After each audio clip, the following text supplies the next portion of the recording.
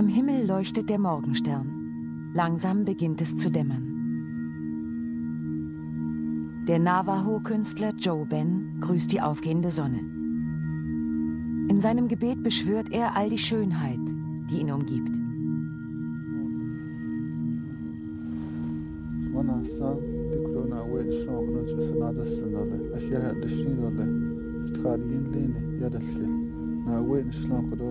tlísan hasán. Chiahe de sníile a dána iadtá sé í aní do an Jonago trahearhat á sé sé díh caní a chiahe de snídó le. Für Joe Ben beginnt ein neuer Tag.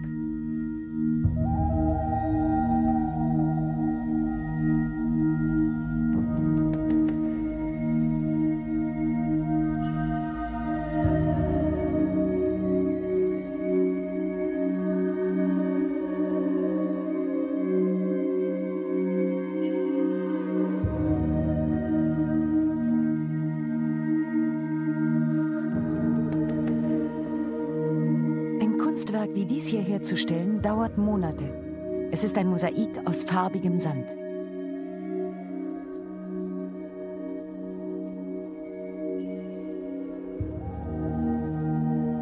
Sandbilder gehören zu den jahrhundertealten Ritualen der Navajo-Indianer und waren ursprünglich Teil einer Heilungszeremonie.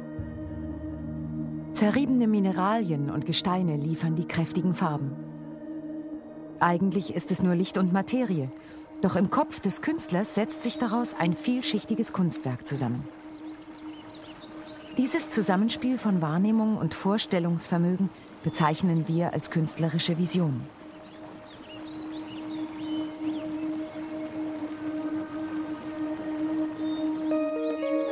Wir alle sehen die Welt auf unterschiedliche Weise.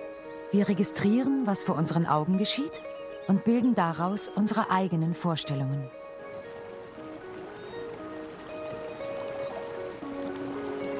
Zu Hause in Ithaca, New York, gehe ich manchmal an einem Fluss spazieren. Ich liebe es, das Spiel von Licht und Wasser zu beobachten und über die Geheimnisse des Sehens nachzudenken. Wie kommt das schillernde Gewebe, das wir wahrnehmen, zustande? Welchen Anteil haben dabei das Licht, unsere Augen und unser Gehirn?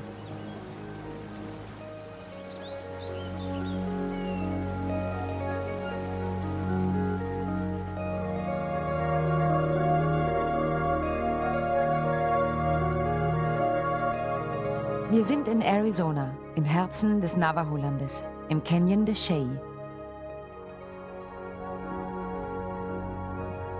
Joe Ben sucht an diesem Morgen Farben für ein neues Sandbild. Jahrelang hat er seine Augen trainiert, um die Felswände lesen zu können.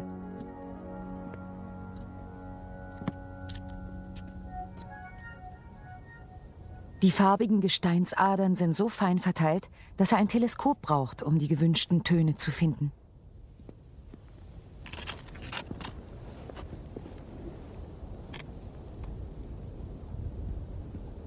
What I'm looking for is trying to locate some blue. Ich suche ein bestimmtes Blau und habe auch schon was entdeckt. In der Nähe vom Ocker, direkt über dem Lavendelblau, der Hauptader. Das Ocker darüber scheint auch sehr gut zu sein. Ich werde also da hinuntergehen, wo die Schlucht enger wird und versuchen, die Stelle wiederzufinden.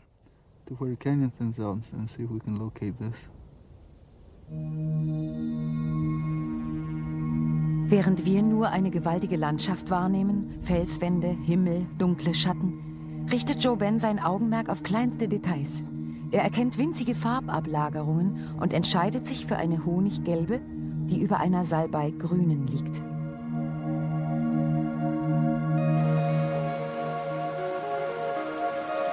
Doch im Grunde geht es immer um ein und denselben alltäglichen Vorgang, das Sehen. Sehen wird erst möglich durch Licht und unsere größte Lichtquelle ist die Sonne. Wir sind von ihr abhängig. Sie schenkt uns Wärme, Energie und die Voraussetzung dafür, dass wir unsere Umwelt visuell erfassen können. Was hier in meine Augen dringt, ist eigentlich nur Licht, das von den Steinen und vom Wasser reflektiert wird. Wie aber verwandelt sich Licht in die Dinge, die ich tatsächlich sehe? Light is a very queer business.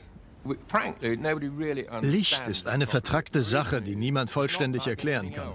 Mal scheint es aus Wellen zu bestehen, mal aus Partikeln, die wie kleine Geschosse wirken. In Wirklichkeit ist beides richtig. Es gibt in der Natur nichts Vergleichbares. Und noch etwas ist wichtig. Es aktiviert unsere Netzhaut, wodurch die Umwandlung der einfallenden Lichtstrahlen in das, was wir am Ende sehen, überhaupt erst beginnt.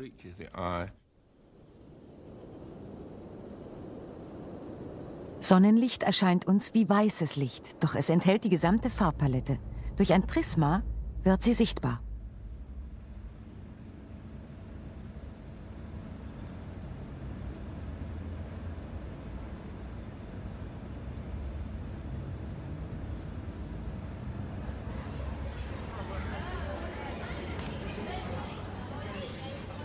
Wie es unseren Augen gelingt, mit der Hilfe von Licht und Linsen ein Bild zu sehen, können hier Schüler in einem englischen Forschungszentrum in Bristol erleben.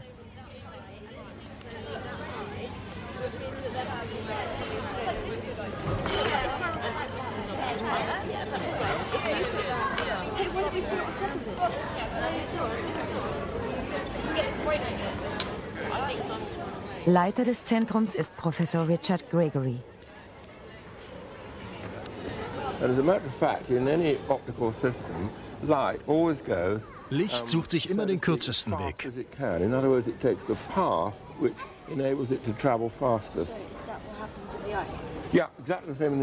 Unser Auge besitzt im Inneren eine Linse. Also Sie kann ihre Form verändern. Dadurch geschieht genau dasselbe, was jetzt hier passiert. Durch die Wölbung der Linse wird das Licht gebrochen und dahinter wieder in einem Brennpunkt zusammengeführt.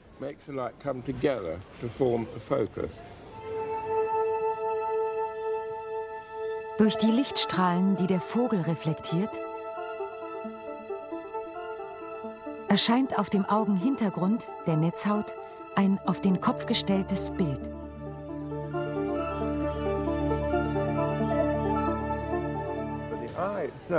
Das Auge selbst erfasst nur drei Farben, rot, grün und blau, und signalisiert sie dem Gehirn.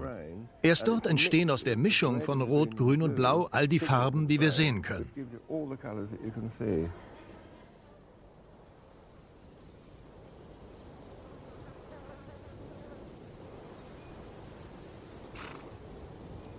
Kaum zu glauben, dass die gesamte Farbenpracht dieser Landschaft für unser Auge zunächst einmal nur aus Rot, Grün und Blau besteht.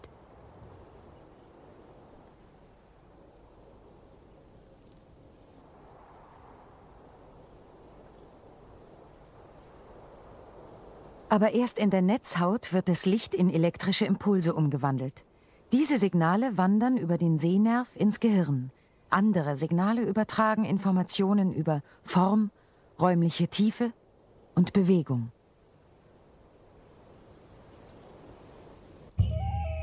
Farben haben nicht nur eine physikalische, sie haben auch eine geistige Bedeutung. Joe Ben sieht weit mehr als nur einen blauen Himmel, grüne Blätter, rote Felsen.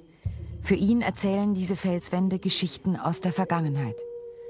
Eine Wand zeigt Sternbilder, die in der Mythologie seiner Vorfahren eine große Rolle spielten. Eine der Navajo-Ältesten, Annie Kahn, versucht, die alten Lehren mit der Gegenwart zu verbinden.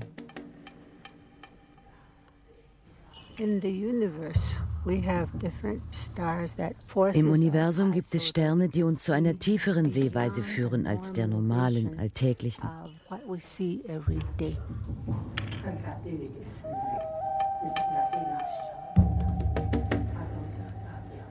Sandbilder sind Ausdruck dieser spirituellen Sicht der Dinge. Um sie herstellen zu können, darf man nie aufhören zu lernen.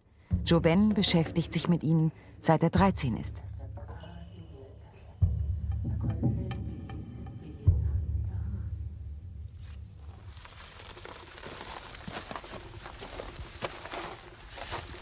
Es beginnt damit, die richtigen Farben zu finden.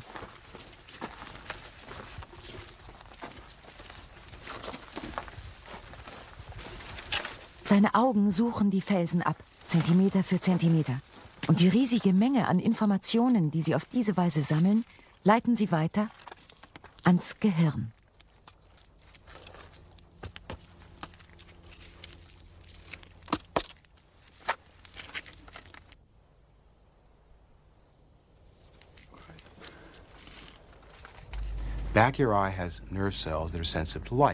In der Rückwand unseres Auges sitzen lichtempfindliche Nervenzellen, die das Licht in Nervenimpulse umwandeln. Und die wandern nach hinten zur Kleinhirnrinde.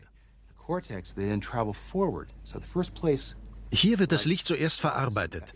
Deshalb sieht man manchmal Sterne, wenn man einen Schlag auf den Hinterkopf bekommt. Von da aus verteilen sich die Signale und lösen verschiedene Wahrnehmungen aus. Sehen ist also nicht nur ein Vorgang.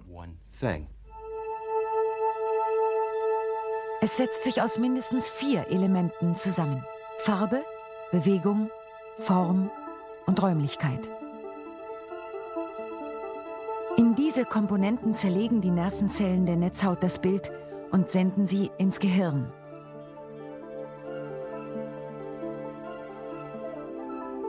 Milliarden dieser Signale treffen sich im sogenannten Sehzentrum des Kleinhirns.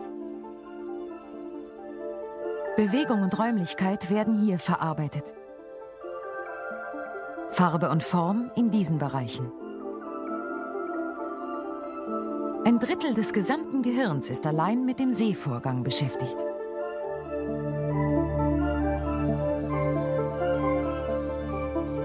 Am Ende werden die Daten zu einer kompletten Wahrnehmung zusammengefasst. Doch wie dies geschieht, weiß niemand.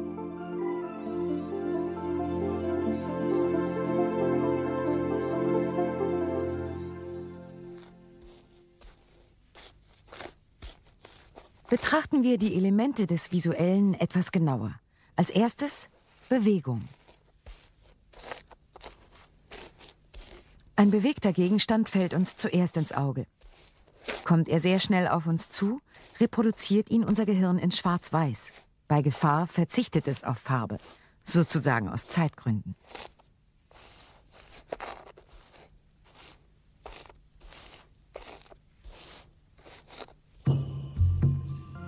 Das zweite Element, Form. Im Hintergrund taucht der Shiprock Mountain auf.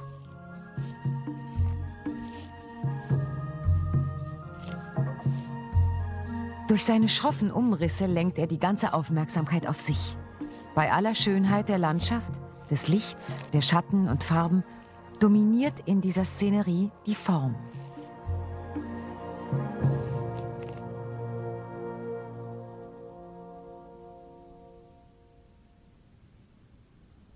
Das Zusammenspiel von Form und Farbe lässt sich gut an diesem Aquarell von Picasso demonstrieren.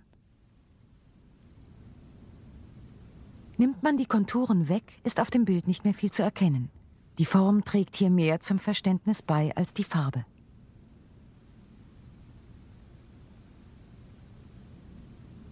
Ein drittes Element, die Wahrnehmung der Tiefe.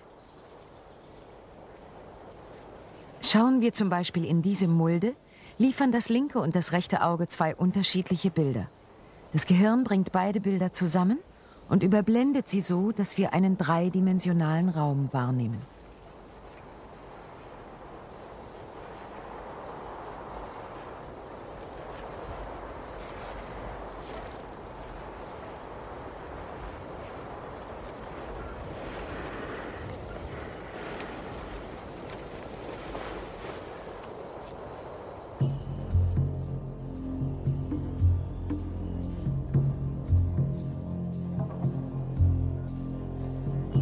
Doch Tiefe entsteht für uns auch noch auf andere Arten. Die Pflanze wirkt groß, weil sie nah, und der Berg klein, weil er weit entfernt ist. Wir nennen dies Perspektive. Künstler setzen sie ein, um das Gefühl von Raum zu erzeugen.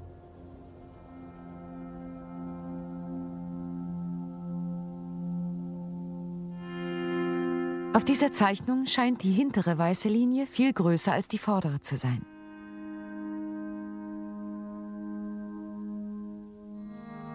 Aber im direkten Vergleich sehen wir, dass sie gleich lang sind.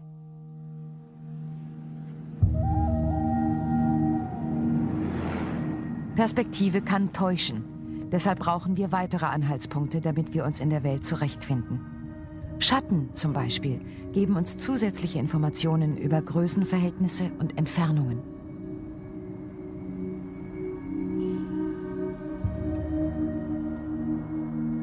Auf der Suche nach den gewünschten Farben war Joe Ben den ganzen Tag unterwegs. Hier am Fuße des heiligen Shiprock Mountain ist seine Arbeitsstätte.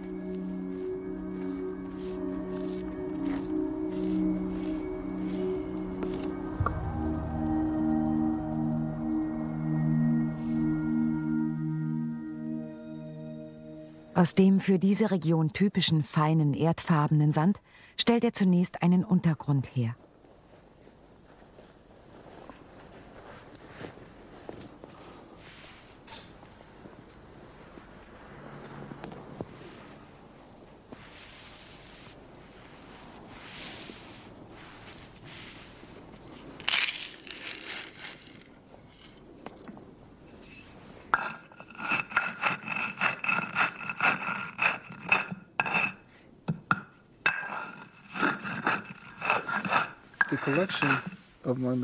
Um all das Material zu beschaffen, bin ich viel herumgefahren.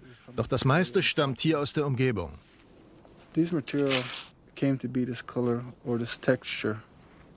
Farbe, Textur, Weichheit oder Festigkeit dieser Materialien sind durch natürliche Prozesse entstanden, wie Erwärmung, Druck, Abkühlung. Dabei hat das Gestein Energien in sich angesammelt, die wir als Farben wahrnehmen. Energien, die wir fühlen, schmecken, manchmal sogar riechen können.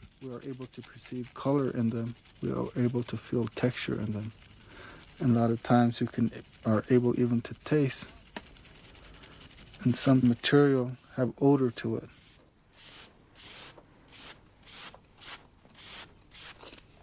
Bei der Wahl des Materials wie auch bei der Arbeit selbst benutzt Joe Ben all seine Sinne.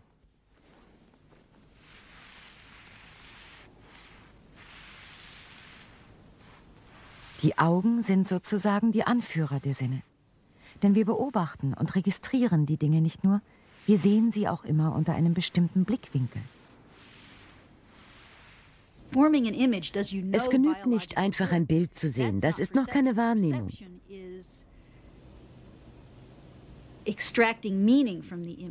Wahrnehmen heißt, dem Bild eine Bedeutung entnehmen. Deshalb liefen die Computerleute so lange in die Irre, als sie glaubten, sie könnten eine sehende Maschine bauen. Das scheint aber so gut wie unmöglich zu sein. Für die Entwicklung eines Gerätes, das selbstständig und ohne anzuecken eine Straße entlangfahren kann, brauchten sie Jahrzehnte. Sehen ist eben weit mehr als nur eine perfekte Abbildung der Umgebung. Man sieht um sich herum nicht nur Farben und Formen, man nimmt auch Objekte wahr. Die Welt ist voller Bedeutung. Wenn wir von Bedeutungen reden, meinen wir damit eigentlich, dass wir fähig sind, uns an Objekte zu erinnern, denen wir einmal begegnet sind. Und dass wir feststellen können, dass dieser Gegenstand, den wir gerade sehen, der rot ist und eine bestimmte Form und Größe hat, mit einem Objekt übereinstimmt, das wir in unserem Gedächtnis gespeichert haben. Sobald wir das tun, ist dies nicht mehr ein rotes, rundes Ding von der und der Größe, sondern ein Apfel. Und wir wissen auch, dass er innen Kerne hat, obwohl wir sie nicht sehen können. Wir sind uns aber dessen sicher, weil wir Objekte ähnlicher Art vorher kennengelernt und dabei Informationen gesammelt haben.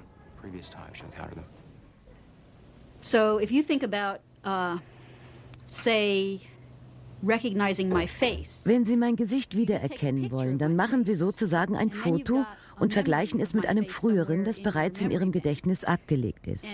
Und um herauszufinden, ob beide identisch sind, suchen Sie nach den wesentlichen Merkmalen des Gesichts, das Sie gerade vor sich haben. Was aber passiert, wenn diese Fähigkeit des Wiedererkennens verloren geht? Vor vier Jahren hatte Robert Broadston aus Montezuma in Iowa einen Schlaganfall. Seine Augen blieben intakt, doch das Gehirn wurde geschädigt.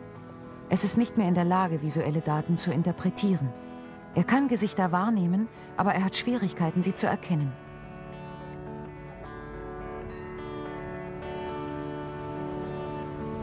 Seine Enkelkinder sehen für ihn alle gleich aus. Es fällt ihm schwer, sie auseinanderzuhalten. Er kann sich nur an ihren Stimmen orientieren.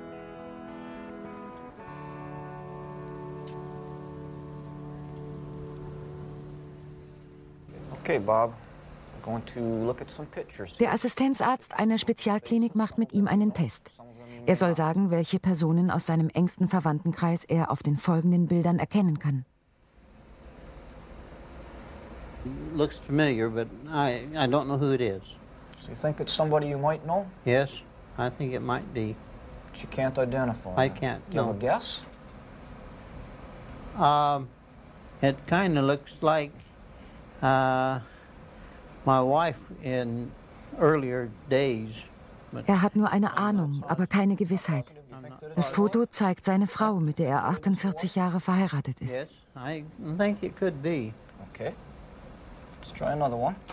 And we're going to give you an idea of what kind of process die Ärzte Hanna und Antonio Damasio versuchen, die Gründe für solche Ausfallserscheinungen zu erforschen. Now that we have seen that this patient has difficulty in the recognition of faces, uh, haben Patienten Schwierigkeiten beim Erkennen von Gesichtern, ist es wichtig, den Zustand des Gehirns exakt zu diagnostizieren. Durch eine neue Technik sind wir in der Lage, dreidimensionale Aufnahmen zu machen. Das heißt, wir können das Gehirn sowohl von außen wie von innen her betrachten.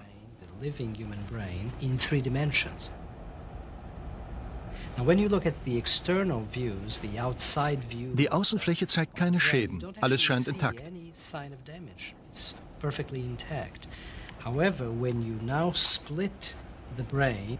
Wenn man aber das Gehirn auf unserer Darstellung in der Mitte teilt und sich die Innenseite der linken und der rechten Hemisphäre ansieht, entdeckt man zwei Regionen, die durch den Schlaganfall zerstört wurden. Diese beiden Stellen verursachen die Probleme des Patienten. And it is because of these areas that the patient has a problem with the recognition of faces. Die hier gespeicherten Informationen sind nicht mehr abrufbar. Do you recognize this one? I have seen that nur an ein paar Gesichter aus frühester Zeit, die tiefer im Gedächtnis verankert sind, kann er sich noch erinnern, zum Beispiel an seine Mutter. Do you recognize this person? Yes, that is a picture of my mother. That I can't. I, I've that face looks familiar, but um, I, I can't tell you who it is. It, uh, Doch schon mit den Enkelkindern hat er große Schwierigkeiten. It about halfway looks like one of my grandsons, but I'm not sure who it is. Well, doggone, you know, you would feel bad if you couldn't. Ein schlimmes Gefühl, wenn man nicht mal mehr die Menschen erkennt, die einem so nahe stehen feel bad about it. Gesichter sind gewöhnlich das Erste, was wir an Menschen wahrnehmen. Und Gesichter ändern sich. Hier sind ein paar von meinen. Oh, here's my first face. Ich bin da knapp ein Jahr alt. Ich sehe so aufgeregt und unsicher aus. Doch meinem Bruder scheint es gut zu gehen. Meine kleinen Hamsterbäckchen und der seltsame Ausdruck im Gesicht. Ich liebe dieses Bild.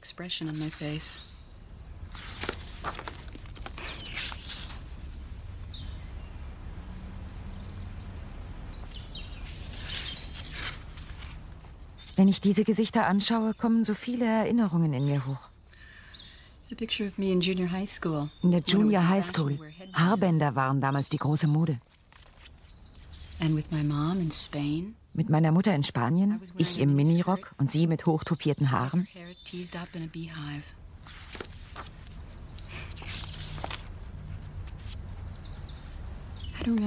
Wann dies aufgenommen wurde, weiß ich nicht mehr. Ich wirke da so schwermütig. Muss in der College-Zeit gewesen sein.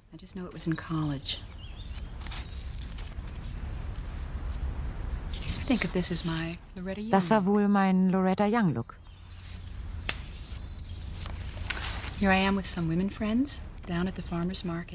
Fotos wie die hier halten die Zeit für einen Moment lang an. Ein flüchtiger Blick auf das, was wir und unsere Freunde einmal waren. Doch manchmal lässt sich unser Blick auch täuschen.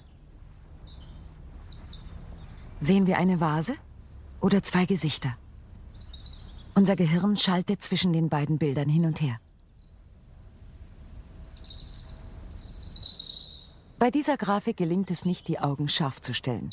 Das Ergebnis, wir erleben ein Flimmern und Pulsieren.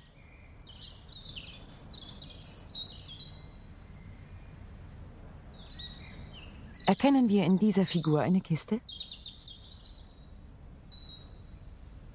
Und jetzt? Das ist ein visueller Trick, eine optische Täuschung.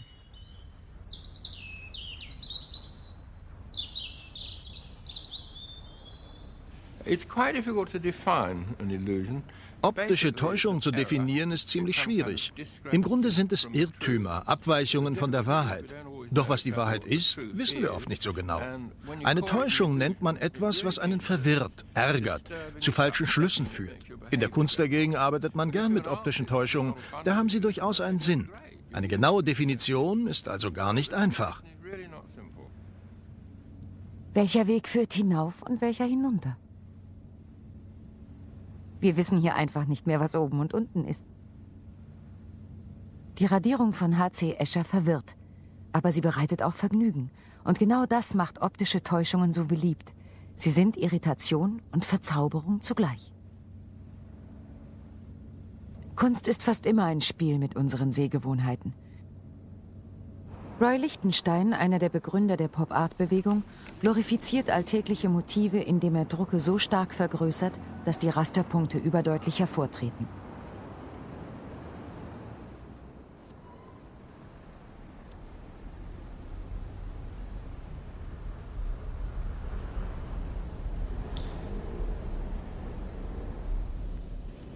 I was leafing through a, a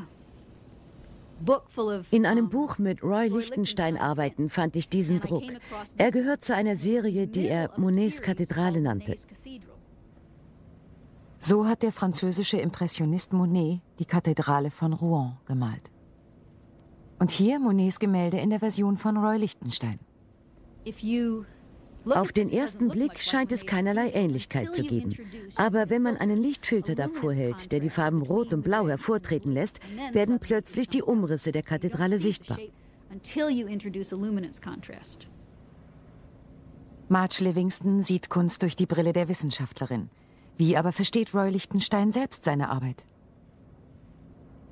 Schon als junger Mann bewunderte er die Werke von Monet. Er schätzte an ihnen, wie er sagt, den typisch europäischen bzw. französischen Blick, eine ganz bestimmte malerische Qualität. The Monet things, of course, were seen through French eyes, European eyes, uh, however you want to put it, School of Paris, that had certain paint qualities. Er lernte zu malen wie die französischen Meister, doch später änderte er seinen Stil radikal. Er nahm sich seine geliebten Comicheftbildchen vor. Bilder, die aus der Druckerpresse kommen und eigentlich aus lauter kleinen Punkten bestehen. Und diese Rasterpunkte wurden sein Markenzeichen. Mir fiel auf, dass Rasterpunkte neben glatten Flächen ähnlich wirken wie ein dicker neben einem dünnen Pinselstrich. Ich dachte, man könnte doch diese traditionellen Elemente der Malerei nutzen, einer Malerei, die jeder kennt, die elegant und schön ist, die aber immer mehr an Bedeutung verlor, weil zu viele glaubten, sie könnten auch so malen. Ich habe nichts Neues erfunden. Ich habe nur eine Schönheit wiederentdeckt, die uns einmal gelehrt worden ist.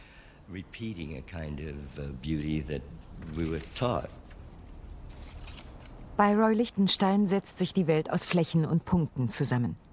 Er beruft sich dabei auf europäische Traditionen des vorigen Jahrhunderts.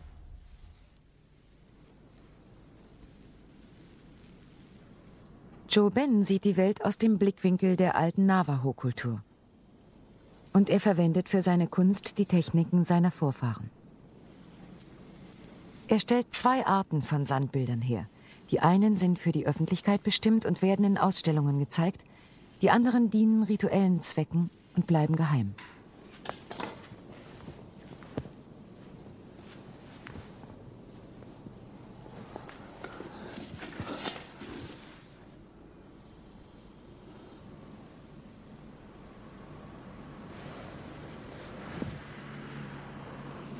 When you create a sand painting, you recreate in einem Sandbild wird alles wieder erschaffen. Unsere natürliche Umgebung, unser angestammtes Land, unsere Mythologie, die Geburt des Menschen, die Zeit, der Ort, das ganze Universum ist in einem Sandbild enthalten. You also create time, place, and you also create the universe in this.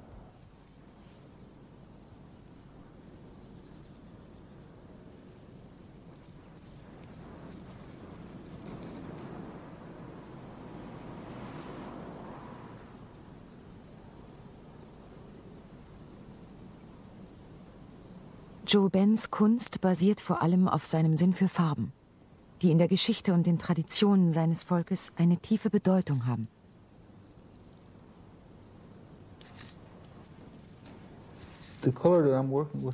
Diese Farben habe ich in den letzten Tagen gesammelt und ich versuche als erstes ihre Umgebung zu rekonstruieren.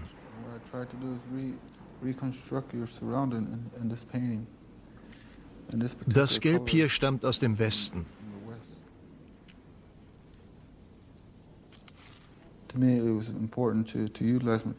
Die Farben aus dieser Gegend sind für mich sehr wichtig, genauso wie die vom Canyon de Chelly, wo es viele Felszeichnungen und Bilderschriften gibt.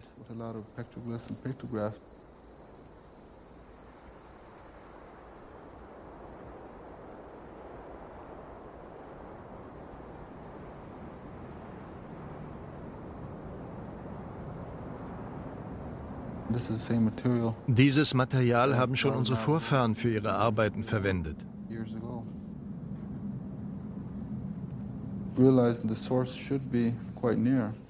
Mir war klar geworden, dass die Fundstellen hier ganz in der Nähe sein mussten.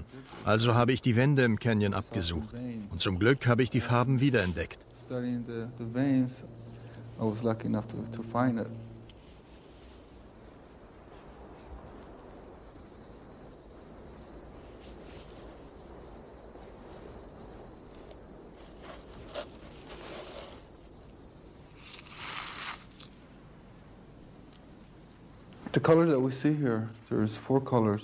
Wir sehen hier vier Farben, weiß, blau, gelb und schwarz.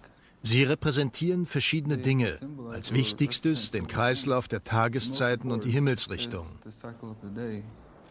Also weiß steht für den Morgen und den Osten, blau für den Tag und den Süden, gelb für den Abend, den Westen und schwarz für die Nacht, den Norden. Für Joe Ben symbolisieren die Farben Ort und Zeit. Wir sprechen vom Weiß der Unschuld oder vom Schwarz der Trauer. Wie bei ihm ist bei uns allen die Sicht der Dinge geprägt durch unsere Erziehung, unsere Persönlichkeit und unser kulturelles Erbe.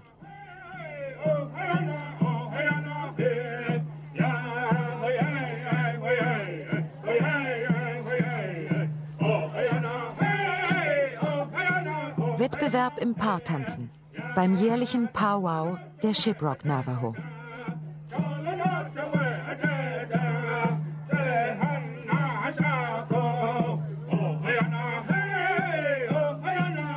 Beharrlich versuchen die etwa 210.000 Dain oder Navajo, die heute noch hier leben, an ihren Traditionen festzuhalten.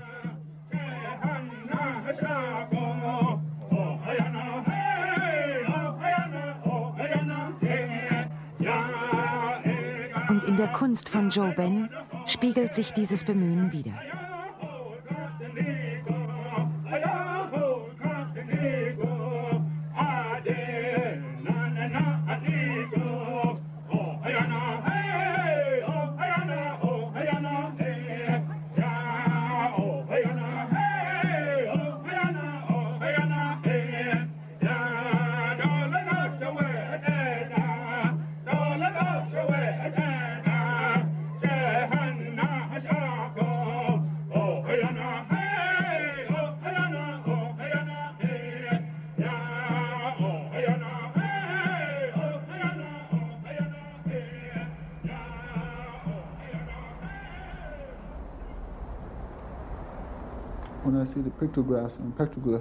Wenn ich die alten Bilderschriften und Felszeichnungen sehe, frage ich mich, was wollte der Künstler damals ausdrücken, als Individuum und als Teil seiner Kultur, seiner Gesellschaft?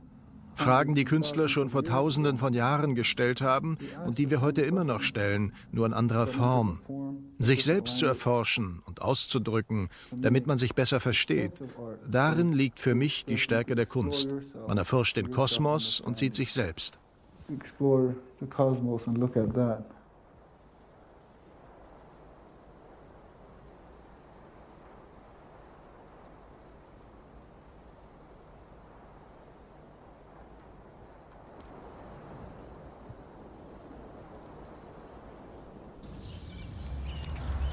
Diese wunderschönen Blumen. Sie erinnern mich an einen Sommer in den Pocono Mountains. Ich war damals 16. Jedes Bild, das wir vor Augen haben, löst in uns Gefühle aus. Zum Beispiel ein grüner Rasenteppich. Ich wette, Sie erinnern sich genau an den Geruch von frisch geschnittenem Gras. Wie kühl und weich sich Gras anfühlt, wenn man darüber geht oder sich in ihn wälzt, an einem schönen heißen Sommertag. Wir nennen diese Fähigkeit, etwas zu fühlen, was gar nicht da ist, Vorstellungsvermögen oder Einbildungskraft.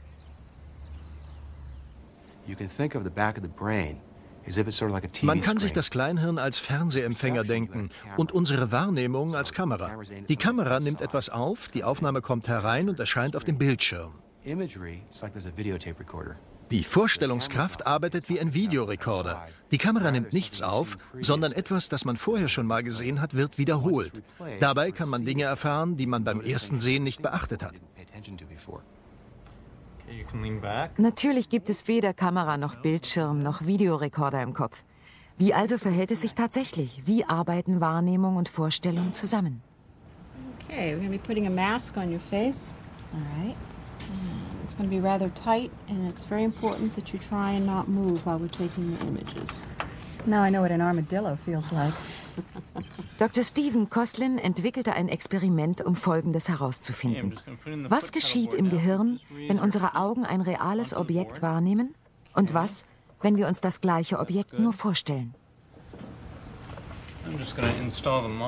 Ich bin hier im General Hospital von Massachusetts in Boston, um an einem der Versuche von Dr. Koslin teilzunehmen und selbst einmal zu beobachten, wie mein Gehirn arbeitet.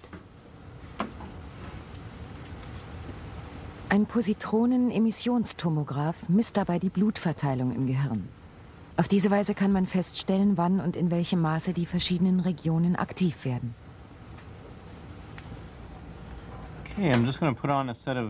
Ich lege Ihnen jetzt die Nasenkanülen an, durch die Sie das radioaktive Gas einatmen. Während des Versuchs atmen Sie bitte nur durch die Nase. Und wenn die Kanülen herunterfallen, sagen Sie mir Bescheid. Okay.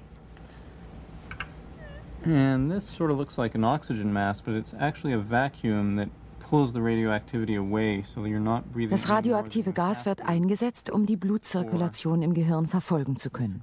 Man braucht dafür nur eine winzige Menge, die nicht gefährlich ist. How does that feel? Interesting. Is it comfortable enough for you? Yes, it's just fine. Okay. Okay, so during this experiment, you're going to be Die Computerstimme nennt Ihnen jetzt verschiedene Gegenstände aus dem täglichen Leben. Halten Sie bitte Ihre Augen geschlossen und stellen Sie sich diese Gegenstände bildlich vor. in your mind's eye. Okay? In the second part of the experiment, you'll actually be presented with these objects. Im zweiten Teil des Experiments halten Sie Ihre Augen offen. Sie hören dann wieder die Namen der Gegenstände und gleichzeitig sehen Sie sie auf dem Bildschirm. Okay. Zuerst mache ich also die Augen zu und versuche mir das genannte Objekt vorzustellen.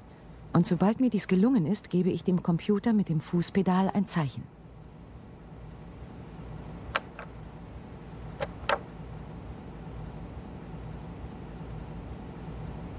Teddy bear. Knife. Cake. Cushion. Car. Beanbag. Doll. Zweiter Teil des Versuchs.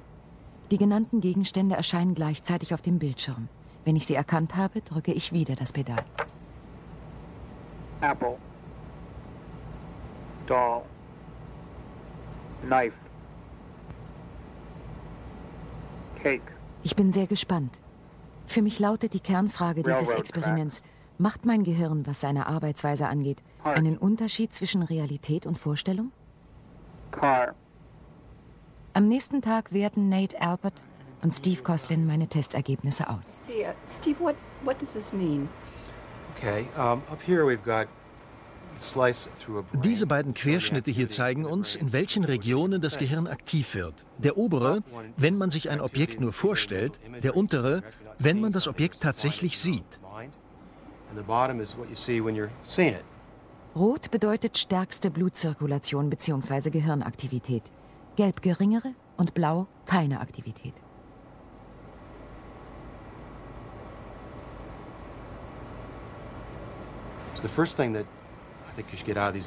Als erstes fällt auf, wie sehr sich die Bilder gleichen.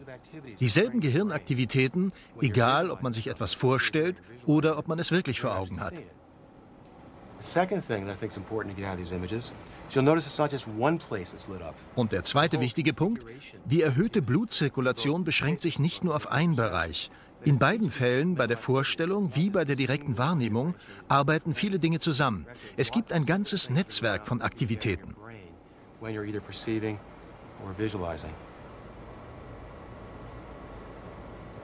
Wir haben das Sehen mit einer Kamera verglichen, die Bilder auf einen Schirm projiziert und die Vorstellung mit einem Videorekorder, der Bilder speichert und uns wieder vorspielt.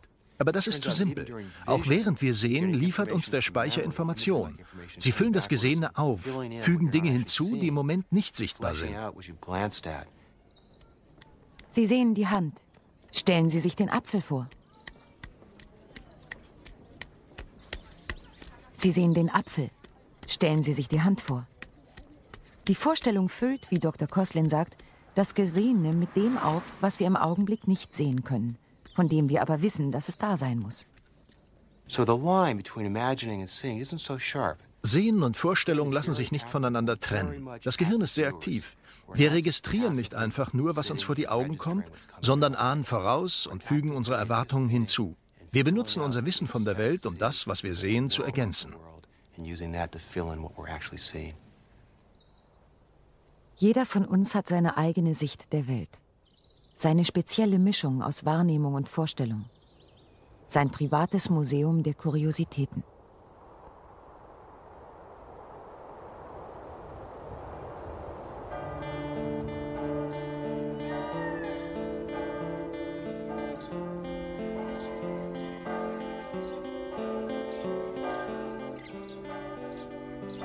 ...1989 ließ die französische Regierung dieses im Loiretal gelegene Chateau in ein Kunstmuseum umwandeln. Gezeigt werden Exponate aus Asien, Afrika, Europa und Amerika. Daneben die Sammlung von Renaissancewerken, die das Schloss bereits besaß.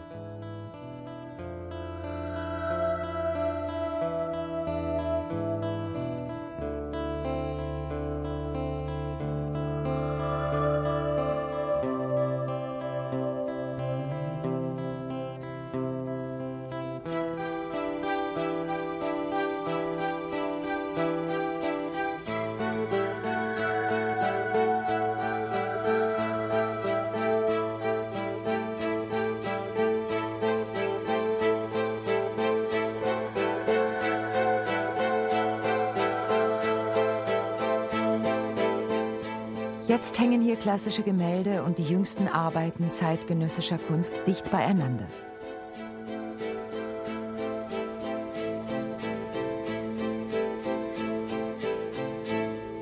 Ein paar Schritte weiter und wir sind in Afrika. Zeremonielle Tanzmasken der Igbo aus Nigeria.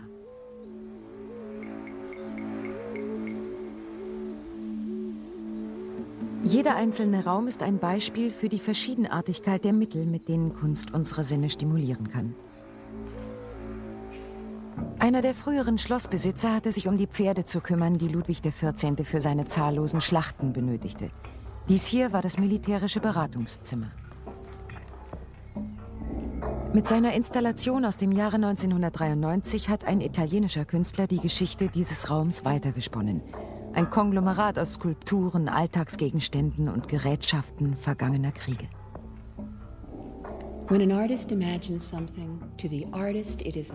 Ob man nun diese Arbeit für gelungene Kunst hält oder nicht, auf jeden Fall zeigt sie die Assoziationsfähigkeit unserer Vorstellungskraft.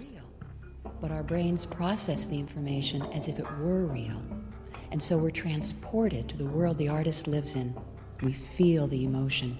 We enter that creation.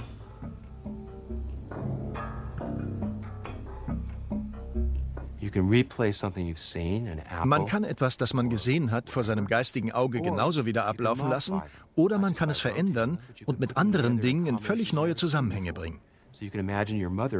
Surfboard. Man kann sich zum Beispiel seine Mutter auf einem Surfbrett vorstellen. Wie macht man das? Jeder weiß, wie ein Surfbrett aussieht und kann es sich vorstellen. Jeder weiß, wie seine Mutter aussieht, auch sie kann man sich vorstellen. Und nun werden in einem Prozess, der einen großen Teil des Gehirns beansprucht, diese beiden Erinnerungen miteinander verkoppelt. Man setzt sie zusammen und kann das Ergebnis betrachten. Haben wir unsere Mutter auf dem Surfbrett, können wir weiterfragen. Wenn sie ihre Arme ausstreckt, würden sie über das Surfbrett hinausragen? Und wieder fügt man beide Bilder zusammen. Vorstellung ist also ein kreativer Verschmelzungsprozess, nicht nur einfache Reproduktion.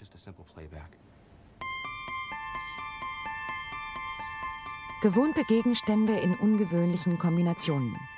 Mit diesem Mittel versucht hier ein Künstler aus Bosnien, den Aufstand französischer Bauern gegen die Aristokratie zu versinnbildlichen. Mistgabeln werden zu rebellierenden Bauern, die die reichen Landbesitzer in ihren Palästen umzingeln.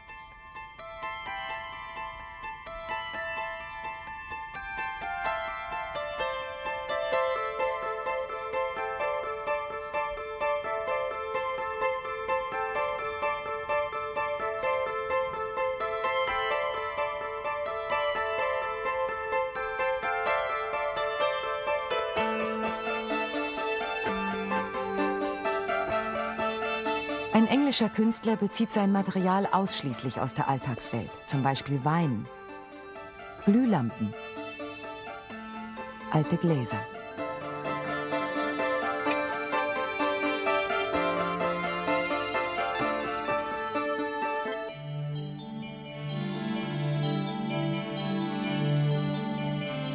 Er arrangiert reale Objekte auf eine Weise, die uns die Schönheit einfacher Dinge vor Augen führen soll.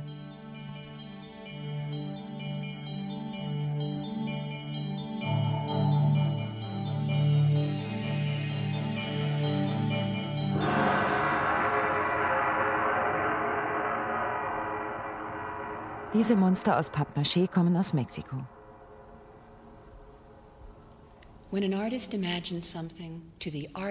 Für einen Künstler ist seine Vision genauso real wie die Sonne. Wenn wir dann das Kunstwerk betrachten, wissen wir zwar, dass wir es nicht mit der Realität zu tun haben, aber unser Gehirn behandelt das Gesehene trotzdem so, als wäre es real. So werden wir in die Welt des Künstlers hineingezogen und können seine Gefühle nachempfinden.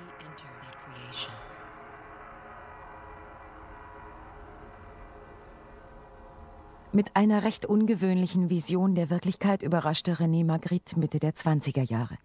Er sagte, Dinge können zugleich sichtbar und unsichtbar sein. Die Reiterin versteckt die Bäume und die Bäume verstecken die Reiterin. Das, worauf Licht kein Licht werfen kann, ist das Unsichtbare.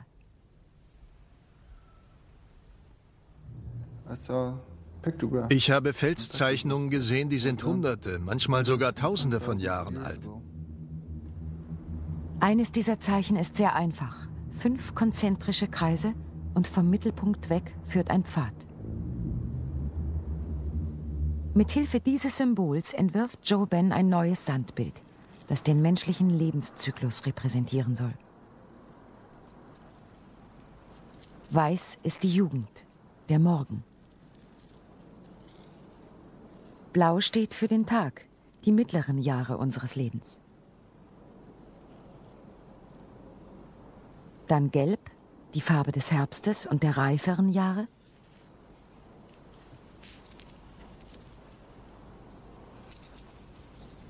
Und schließlich Schwarz, der Norden, die Nacht, Alter und Tod.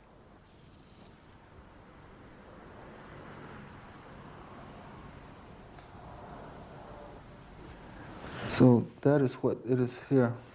Genau wie auf der Felszeichnung beginnt der Pfad im Zentrum, da wo sich das Bewusstsein entwickelt.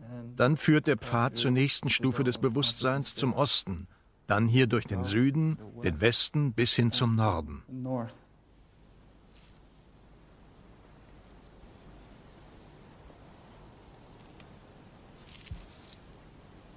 In der Sprache der Navajo existiert kein Wort für Künstler. There are people who play this role, but they're not Es gibt Leute, die diese Rolle übernehmen, doch man nennt sie nicht Künstler. Es sind Medizinmänner oder spirituelle Menschen, die Visionen haben, die ihre eigene Kultur, aber auch andere Kulturen wahrnehmen, interpretieren und ihrem Volk vermitteln. Und das ist ja die Rolle eines Künstlers.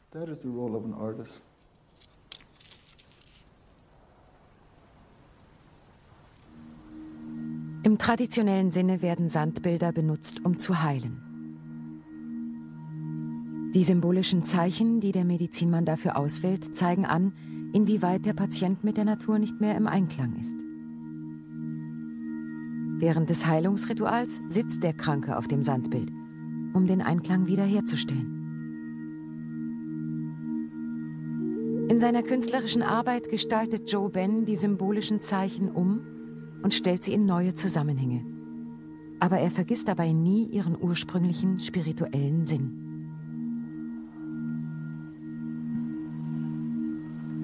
Okay, it is completed. Gut, es ist fertig. The work is completed. I will put it away now. Ich werde es jetzt wieder vermischen. In der Reihenfolge Osten, Süden, Westen, Norden. so the color from the east.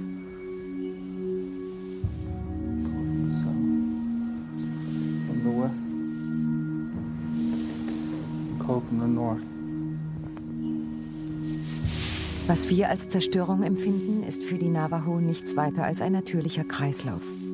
All die Energien, die sich in diesem Sandbild versammelt haben, fließen zurück in die Erde, um später wieder entnommen zu werden. Immer wieder.